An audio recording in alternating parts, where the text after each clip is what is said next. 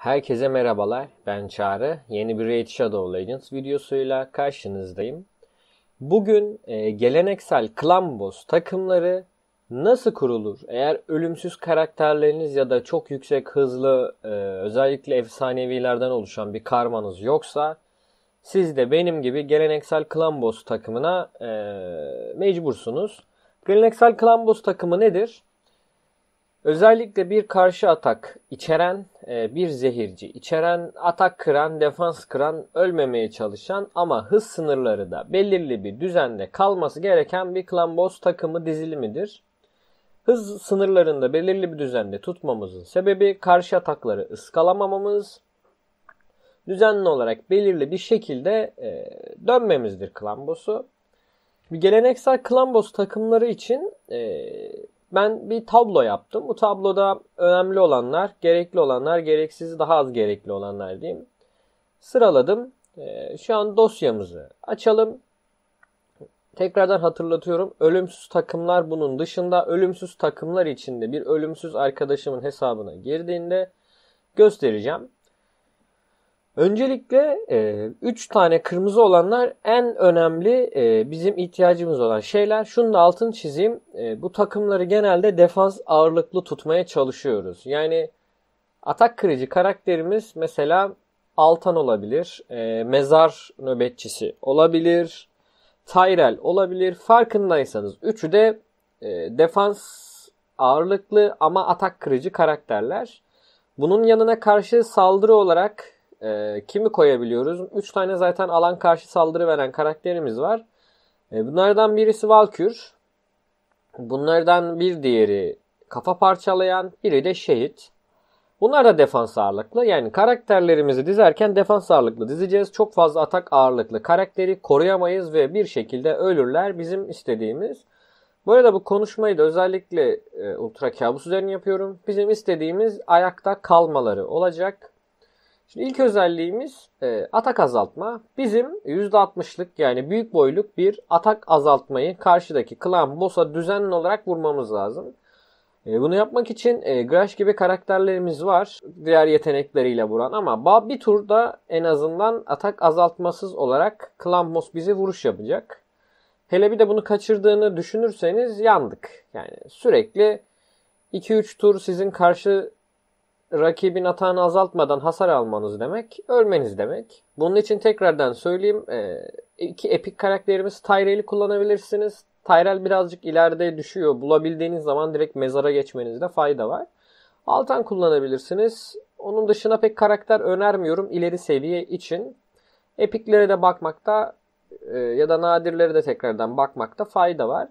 Diğer yapacağımız şey ise e, defans azaltma ve zayıflatma. Neden derseniz defans azaltma ve zayıflatma bizim hasarlarımızı ciddi oranda arttırıyor. Aynı zamanda ustalıktan aldığımız dev katili ya da savaş efendisi, Warmaster ama sanırım savaş efendisiydi. Ee, bunun tur başına vuracağı hasarı arttırıyor. Örneğin e, hem defans azaltma hem zayıflatma karşıda varsa 67K'lık ekstra bir hasar vururken bunlar yoksa 30-40K'ya kadar düşüyor vuruş başına. Bizim de istediğimiz zaten karşı saldırılarda da bu ustalıktan faydalanmak olduğu için defans azaltmayı özellikle de karşı saldırı turlarına denk getirmemiz çok önemli. Üçüncü yapacağımız şey defans arttırma. Ölmememiz için bir kilitte. Bu aynı zamanda defans arttırdığımız zaman defans üzerinden vuran karakterlerimizin de hasarı otomatikmen artacak. Örneğin Razin için konuşursam Razine atak arttırma bonusu vermeyiniz atanış bir şekilde arttırmaz. Onun defansını arttırmanız lazım ki daha çok vursun. En başta da söyledim defans ağırlıklı bir takım kuracağımız için bu çok önemli. Dördüncüsü en elzemleri geçtik. İkinci tipte elzemler dezavantaj bloklama ya da stun kaldırma. E, mezarı bulduğumuz zaman e, biz aslında 3 şeyi birden sağlamış olduk. Atak azaltmayı sağladık, defans arttırmayı sağladık, dezavantaj bloklamayı da sağladık. Bu yüzden Tyrell'in bir tık önüne geçiyor. Ama Tyrell de burada defans azaltma özelliğini sağlıyor. Yanına zayıflatma bulmanız gerekiyor bundan sonra. Her iki alan vuruşunun arkasından Clan Boss dezavantaj e, bloklama ister çünkü stun vurur. Sizi sersemletir bir tur. Bu da Clan Boss'ta kaymanıza sebep olur. Ben bunu şu anki takımımda Stun yedikten sonra en hızlı yaptığım Badel'le kaldırma yolunu seçerek Badel'in e, dezavantaj kaldırması stun'ı kaldırıp sıramın bozulmamasına sebep oluyorum.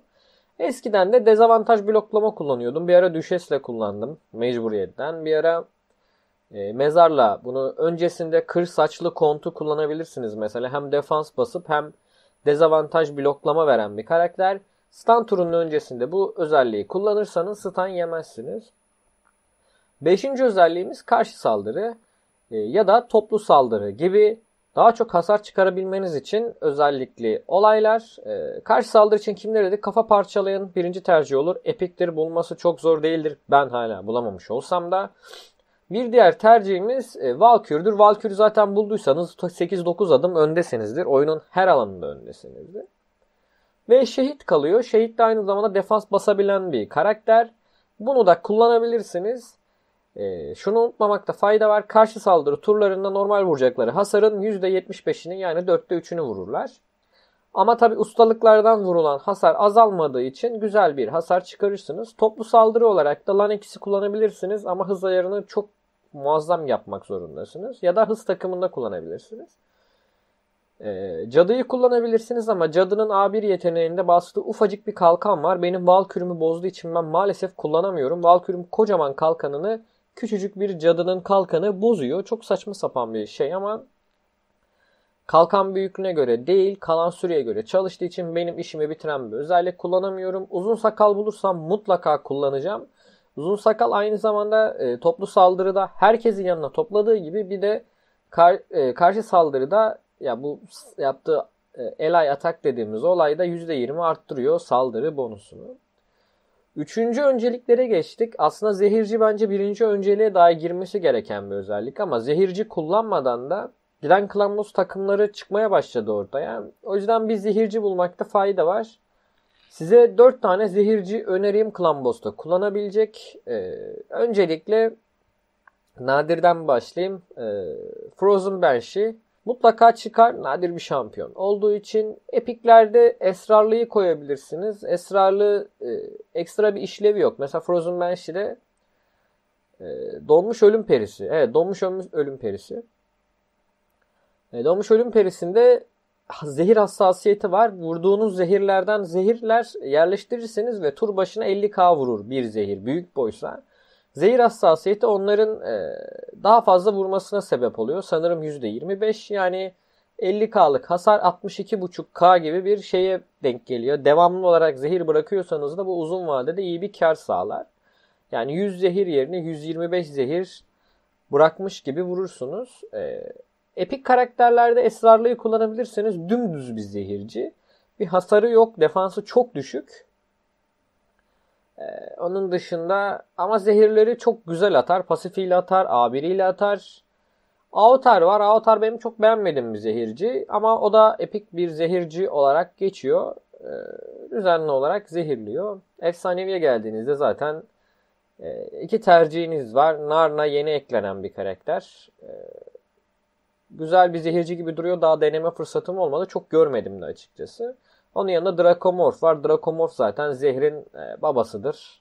Zehir atar, e, defans azaltma, zayıflatma atar. A1 ile çok yüksek vuruşlar, çok yüksek kritler çıkarır. Bu üç tercihten birini seçebilirsiniz. E, yedinci olarak kalkan, müttefik koruma ya da cam basma. Bunların en azından birini yerine getirmeniz lazım bence. E, kalkan olarak cılızı kullanabilirsiniz mesela. Yeni e, karakterlerden birisi. E, bu parça toplama etkinliğiyle almıştık. Kalkanı kırıldığında aynı zamanda karşı saldırı da yapıyor. E, karşı saldırı görevini de aslında ufak tefek de olsa yerine getiriyor. E, ve kalkan e, veriyor tüm takıma. Defans veriyor tüm takıma. Onun dışında Valkür'ünüz varsa zaten e, belce kalkan 40-50k'lık canlara eşit bir kalkan verebiliyor. Müttefik koruma için e, zalim elinizde varsa kullanabilirsiniz. Son savunma çavuşunu kullanabilirsiniz. E, kum kırbaçlı canları azaldığı zaman verdiği güzel müttefik koruması var. E, hasar almamalarına da sebep olabiliyor. Kafa parçalayan tabii ki hem karşı saldırı hem müttefik koruma için önemli. E, cam basmada tekrardan Narna e, bildiğim kadarıyla cam basıyor. E, Badel gibi bir karakter kullanabilirsiniz. Şu an e, başka heal yapabilecek Bu arada heal can basma yerine e, continuous healing yani devam eden iyileşme %15 gibi özelliği olan herhangi bir karakteri Clan Boss'la da uyumlu bir şekilde yakalarsanız kullanabilirsiniz. Mesela Grash da e, çok fazla kullanılıyor. Can basmayı kullanmayacaksanız takımınızın e, hemen hemen tamamına can çalma seti giydirmeniz lazım. Zaten ustalıklardan 70k vurduk, vurduğu zaman canları doluyor otomatikman ustalık sayesinde. Clan Boss'tan onun dışında da sömürme içeren bir karakter koyabilirsiniz. Bu da e, can çalmanıza sebep olur. Düşünüyorum Grash burada bu görevi de görüyor aslında. Grash hem can basıp hem sömürme verip hem e, kritik oranını azaltan güzel bir epik karakter. E, Origin kabilelerinde kullanılabilir bence. E, son olarak da zehir hassasiyeti. Zaten az önce bahsettim ne işe yaradığından. Dezavantaj uzatma. Dezavantaj uzatan çok az karakter var. E, Siper var mesela bir nadir karakter ama bence çok dandik e, bir turluk belirli bir düşük bir oranla bir dezavantaj uzatma olayı var. Onun dışında e, Vezir tabii ki oyunda benim en çok istediğim karakterlerden biri. Bazı fotoğraflar görüyorsunuzdur. Üzerindeki dezavantajın Clan Boss'un mesela atak kırması ya da zehri 37, 38, 40 turlar gözüküyor. Sonsuza kadar uzatıyor. Her düz vuruşuyla uzatıyor. Tabii kitaplamakta fayda var kitaplamadığı için bunu çok kullanamayan arkadaşlarım var kitap beklediği için. Buradan ona da mesaj yollayayım. Dezavantaj uzatmada çok etkili bir yöntem olabilir. E, ufak bir şekilde ben kendi Klambos takımımdan bahsedeyim. Böyle 4 yıldız tavuğu almışız. 3 dakikada Doom Tower'da ilerlemeye devam. Tekrardan bir video çekmeyi düşünüyorum Doom Tower'la ilgili. Benim takımım şu şekilde. Ee, Önce liderden başlayayım. Mezardan. Mezarda can çalma ve hız seti yaptım. Ee, ustalıklarım şu şekilde. Ustalıkları şöyle açayım. Hatta kamerayı şöyle taşıyayım. Ustalıklarım bu şekilde. Ee, onun dışında tek tek anlatmaya gerek yok zaten. Bakabilirsiniz. Çok uzamasın diyor. Hepsi kitaplı. Kitaplarınızda büyük bir fayda var. Ayrıca bunlar için ayrıca videoda çekebilirim. Şöyle hızlıca statlarını da göstereyim. Ee, defans ve hız ağırlıklı bir set yapmanız gerekiyor. Tabii ki isabet de çok önemli. Burada tamamlaması en zor karakter mezar. Neden? Diğer karakterler birkaç yönde isterken bu her yönde istiyor. Özellikle 4.8 can, 235 hız e, bulup aynı zamanda da yüksek bir isabet bulmanız çok zor. E, Ultra Kabus'ta 230'un üzerinde bir isabet istiyor sizden. Ben işimi garantiye almak için böyle yaptım. Kritik veremedim. Artık dedim her şeyi yapıyorsun. Yani atak kırıyorsun. Defans ve dezavantaj blok basıyorsun. Takımı ölümsüz yapıyorsun bir şekilde. %50 e, şansla bir kişiyi Aura'yı kullanıyoruz dedim. E, böyle bir giydirdim. Bunun arkasından Dracomorph'u kullanıyorum. Dracomorph'ta gözü pek set giydirdim. Atak ağırlıklı yaptım. Botta atağı görebilirsiniz. Tabi hızı da yakalamanızda fayda var. Hız ayarını önceki videoda anlatmıştım ama 170-180 arasındaki bir e, hız dizilimini e, kullanıyorsunuz. O tekrardan aşağıya bırakırım. Oraya bakmakta fayda var. E, hız dizaynı için. İstatistikleri şu şekilde yüksek bir hasar buldum. Kendince yüksek bir e, kritik buldum. 179 bir hız. Bu herkese göre hız değişir. Ee, böyle e, kabusun hızı 170'tir. 170'i geçirir mi, geçirmeniz gerekiyor turnuzun kaymaması için. 180'i de çok aşmamanız gerekiyor. Ultra kabusun hızı 190'dır ama kabus ayarlarında da kullanabilirsiniz. Ee, bu şekilde bir istatistik yakaladım. Mesela atak, atak, e, crit oranı şeklinde gittim. Ustalıklarım bu şekilde e, ve tamamen kitaplı karakterim şu an için. Ee, bir sonraki karakterimiz e, Razin. E, Razin hiçbir şekilde kitaplı değil. E, ustalıkları tam olarak bitmemiş bile. Zaten yerini değiştirmeyi düşünüyorum başka bir karakter almayı. Bunun da statları şu şekilde. 4.5 kaya yakın bir defans bulmuşum. Ben bunu dümdüz hasar vursun diye kullanıyorum. Canı yok. Bence kadar az. İsabeti zaten yok. Sadece büyük salondan gelen isabeti eklemişim. 179'luk da bir hızı var. Atak sıfır bile olsa hiçbir faydası yok çünkü becerilere bakarsanız hepsi defans üzerinden vuruyor. Ee, bir sonraki kullandığım karakter e, Badel. Badel de şurada bir yerde olsun. Badel tamamen kitaplı. Ee, şu özelliği zehirlenmiş hedeflere %20 fazla hasar verdiriyor. Sürekli zaten Draco ve bununla zehirli olduğu için e, her zaman daha fazla vuruyorsunuz. Buna da gözü pek set giydirdim. Bunu da mesela e, defans ağırlıklı, hız ağırlıklı bir set giydirdim. Hemen şuradan statlarımıza bakalım. 181 hızı var. 4K'ya yakın bir defansı var. Aynı zamanda gözü pek setten de zaten bu defans 5-6K'ymış gibi hissediyorsunuz. 270'lik bir isabet. Ee, biraz iyileştirme yapsın diye bir crit oranı buldum ama zaten crit'i çok vurmuyor. 2K yakın canı 45K'ya yakın bir defansı var. Ustalıkları da bu şekilde. Yine isabet üzerinden gittim. Bahsettiğim savaş ustası War Master dediğimde bu düşmanın max HP'sine bağlı vuruyor. Kabusta 77, Ultra Kabusta 67'lik bir hasar verebiliyor. %60'lık bir şansla. Takımımızın son üyesi ise ee, Valkür.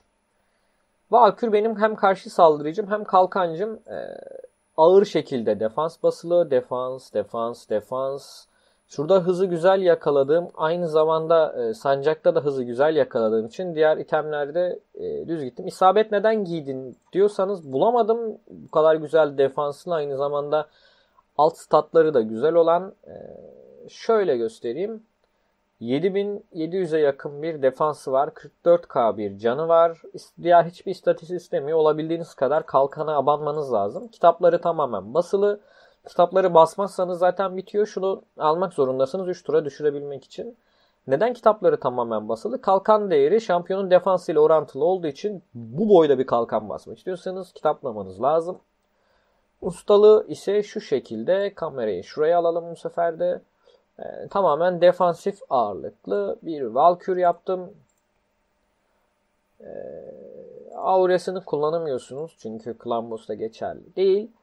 Bakalım Klambos performansımız nasılmış? Şimdi Klambos açılacak. Gireceğim ee, ve göstereceğim size durum nasılmış. Klambos açıldı. Şimdi herkesin çok sevdiği o kutu açılımını yapalım.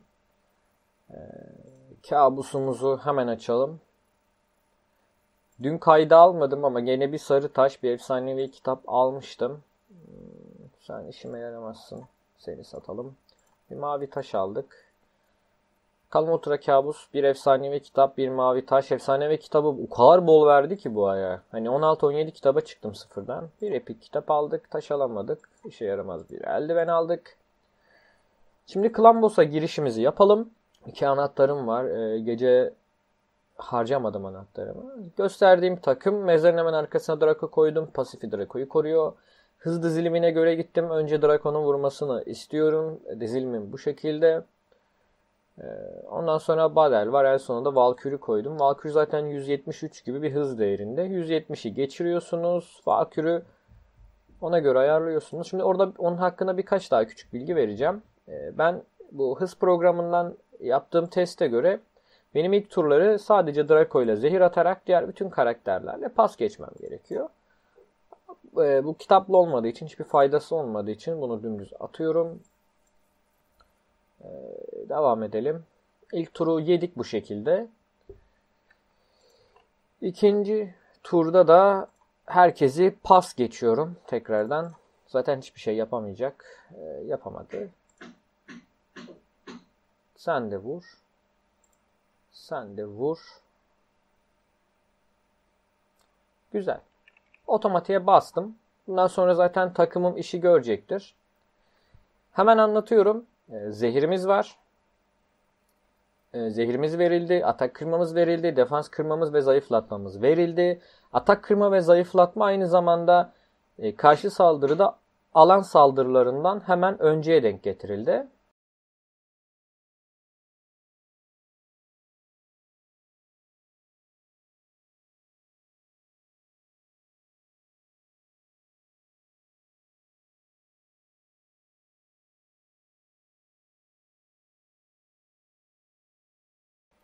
Evet, Badel burada gördüğünüz gibi e, stun'ı kaldırdı. E, Draco defans azaltmalarını verdi. E, mezar kalkan bastı. Çünkü ne dedik? Defans takımlarında kalkan olması çok önemli. Atağına ciddi oranda arttırıyor. Ve karşı saldırıyı verdik. iki alan vuruşunda bütün takım karşı saldırı yaparken bütün avantajlardan faydalanmış oldu. Defansı kırık bir Klambos'a fazla hasarı ile karşı saldırı yaptıkları iki tur. Başta 3. turdayken bir hasardayken çünkü boş geçtiğimiz için şu an 8. turda 7'yi yakalamış olduk. Hatta büyük ihtimalle ilerleyen turlarda geçeceğiz de.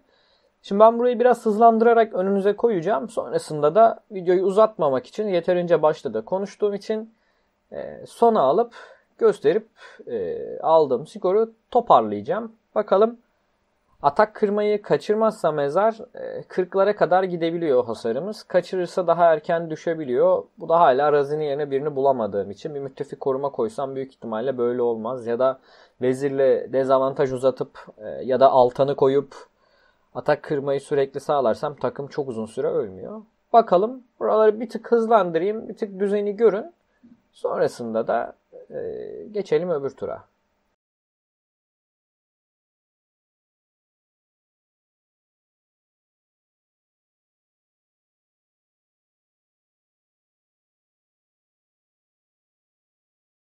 Bu arada hız dengemin e, bozulmadığının farkındasınızdır. Hiçbir şekilde şaşmadan devam ediyor. Herkes her şeyi doğru zamanda yapıyor. Bunun e, sebebi de hemen size OBS'ten şöyle göstereyim. General diyeyim. E, burada yaptığım Klambos ayarları ile ilgili tamamen olay hızda bitiyor. Eskiden ben hızımı tam doğru ayarlayamadığım için bu programı bilmediğimden. Bunu düzgün alamamıştım. Buraya bütün karakterlerinizi yazdıktan sonra sallıyorum. Budur. E, 156'dır deyip budur sallıyorum tekrardan budur 185'tir dediğiniz zaman e, burada bunların hepsi beliriyor ve belirdikten sonra da hangi turda hangi sırayla kimin ne vuracağını çok rahat bir şekilde görebiliyorsunuz. Anlatacaklarım şu anlık bu kadar. Bakalım en sona gidelim. En son bir toparlama konuşmasını yapalım. Evet sonlara yaklaşıyoruz. Ee, Dracomorph bir tura canı bir tık eksik geldiği için stun vuruşunu Draco'ya yaptı. Tabi gözü pek seti e, bu vuruşta çalışmadığı için e, Draco'muz mezarında %50 ihtimali tutmadığı için mefta oldu. Olmasaydı şu an 37-38K'ları geçmişti hasarımız. Olsun canı sağ olsun 36 turda 35 hasarı gördük. Öbür turda benzer hasar vurarak bu şekilde bir takım kurarak bunu epiklerle sağlayabilirsiniz. Mesela Valkür yerine kafa parçalayan koyabilirsiniz. Efendime söyleyeyim e, bunun yerine Frozen Banshee, bunun yerine Tyrell. Belki bu kadar çıkmaz ama hasar. İlerleyen zamanlarda yerlerine değiştirerek e, daha güzel bir takım elbette kurabilirsiniz. Karşınıza çıkacak karakterlerle alakalı. Zalim gibi e, bir karakter, Altan gibi bir karakter, Vezir gibi bir karakter Klambos takımınızı baştan aşağı değiştirip güzelleştirebilir. 36'lık bir hasar e, çıkardık. Ben bir önceki vurduğum Klambos hasarını da videonun sonuna bırakacağım. Anlatacaklarım bu kadar. Öneri Klambos takımlarınız varsa kullandığınız beşlileri yazabilirsiniz buraya kadar izlediyseniz. İzlediğiniz için hepinize teşekkürler. İyi günler.